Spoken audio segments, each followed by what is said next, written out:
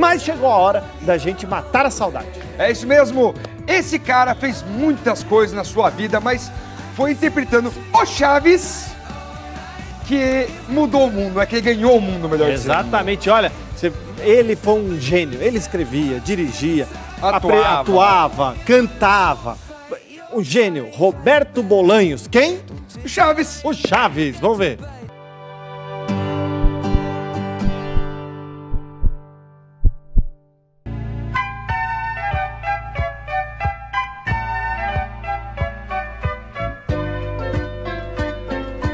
Ele é considerado um dos melhores comediantes de todos os tempos. No Brasil, ficou famoso por interpretar Chaves e Chapolin Colorado, seriados que são sempre reprisados nas tardes do SBT. Roberto Bolanhos. Isso, isso, isso, isso, isso, isso. Roberto Gomes Bolanhos, o nosso querido Chaves, nasceu no dia 21 de fevereiro de 1929, na cidade do México.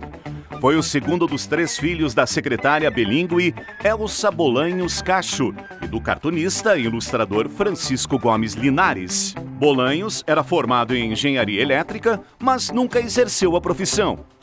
Na década de 50, Roberto Bolanhos começou a carreira como escritor criativo na rádio e televisão, além de começar a fazer vários roteiros de cinema. Já em 1960, iniciou a carreira de ator no filme Dos Criados Malcriados. ¿Cuánto tiempo necesitas para robar una casa? ¿Un año? Ele era conhecido pelo apelido de Chespirito, forma diminutiva e castelhanizada de Shakespeare, por ser considerado um pequeno William Shakespeare na arte da escrita. Foi no ano de 1970 que Chespirito deu a vida ao personagem Chapolin Colorado. Eu reduzo o meu tamanho tomando uma de minhas famosas pastilhas encolhedoras.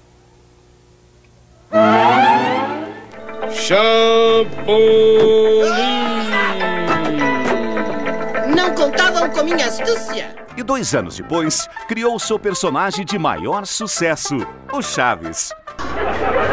Comigo ninguém tem paciência. El niño que, a pesar de que no tiene juguetes, no tiene que comer a veces, pero sigue con vida y, y es optimista. Y de esos tenemos en toda América.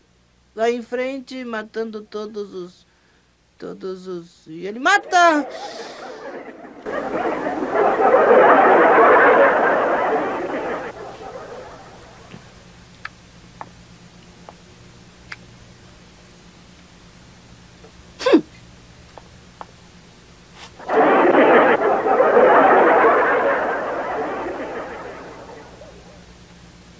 Os programas se tornaram sucesso em todo o mundo. Chespirito também estrelou em diversos filmes mexicanos, escritos e realizados por ele mesmo. ¿Y cree usted que con eso será suficiente? Por supuesto. Pérez Pérez y Asociados, compañía exterminadora de plagas, es el enemigo número uno de los ratones. Também escreveu livros como Diário do Chaves e sua autobiografia, intitulada Memórias Sem Querer Querendo. Bolanhos casou-se pela primeira vez com Graciela Fernandes Pierre. Viveram 21 anos juntos e tiveram seis filhos.